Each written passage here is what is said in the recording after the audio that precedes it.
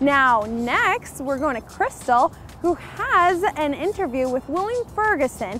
Now, he's the author of 419, and he's the winner of the Giller Prize.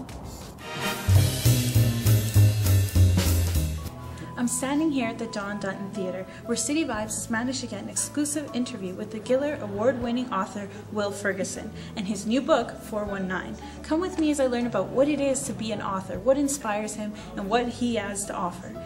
Come and we'll learn about the best of the best Canadian author right now. Um, so when Vincent was here at the Word Fest, I took him out to supper. And I took him to, I asked him, do you like seafood, Vincent? He said, I love seafood. Have you ever had prairie oysters, Vincent? no!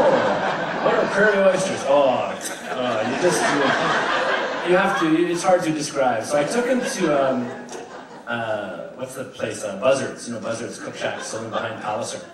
Uh, what I didn't realize is they don't have prairie oysters all year. They just have what they call their testicle festival uh, once a year. That's true. The motto is go on, have a ball. And um, so I took Vincent there, and they didn't have any prairie oysters. So I was sorely disappointed. Uh, we had a steak, but I asked Vincent because you know he won for I think it was four years ago, and I said. Well, that was well. First, I was a lot younger. that was that was 15 years ago. Okay. So I'm not I'm not quite as angry as I was, but it came out of living in Japan. I've been living overseas for five years, and I kind of reverse culture shock.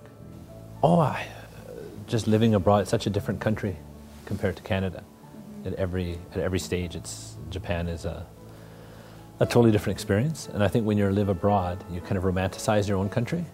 You start to think, oh, Canada, land of mounties and moose and snow-capped mountains, and everyone's very quiet and polite. And then they come back and everyone's loud and arguing, and the Quebec is trying to separate, and the economy is in the toilet, and you just start to have a kind of reverse culture shock.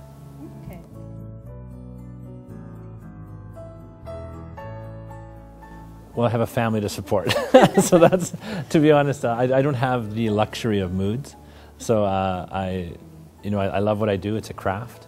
I don't think of it as, I don't sit around waiting for inspiration to descend from the heavens. I, I don't have a day job. Uh, I've been a full-time writer for 14 years. So um, I look at like a vocation, a craft, and I enjoy it. I enjoy the process. Uh, and I, like I said, I have a family to support. So I don't, I don't have the option of draping around the furniture, yeah. waiting.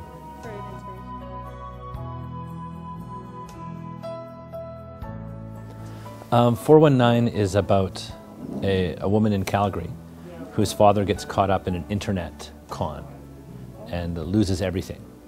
And she travels to Nigeria to confront the people that she feels are responsible for her father's death. So, uh, but then the, the book flips it over, and then you see the Nigerian side of the story, which is really the heart of the novel.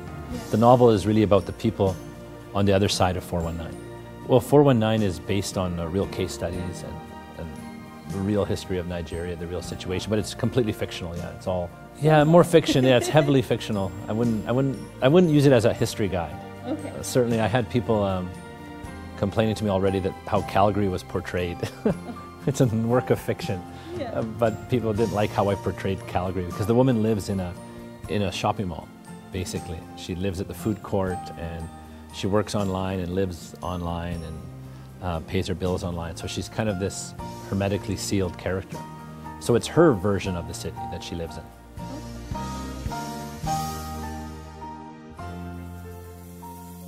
Well, enjoy the process. You should, you should enjoy the process of writing. It should be fun. Mm-hmm. And it's standard advice, but it's true, is you have to do it every day. It's like a working on a muscle.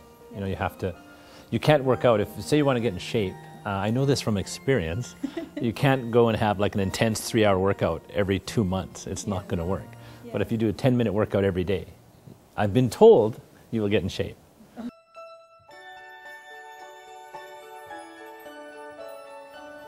Um, I don't like categories. I don't like the, the it was publishing and books are very strange because they, every book should be taken on its own merit. If, if you're writing a humor book, you should judge it, is it a funny book? If you're writing uh, literary fiction, is it good literary fiction? If you're writing history, is it engaging history? The other books and, and the track record and the brand name or whatever you want to call it is irrelevant.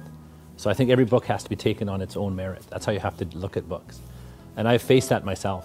People keep saying, 419, you're a humorist. Well, yeah, but this isn't a humorous book. So take it on its own um, merit, for, for good or bad. If you don't like the book on its own merit, that's fine too. But take it on its own.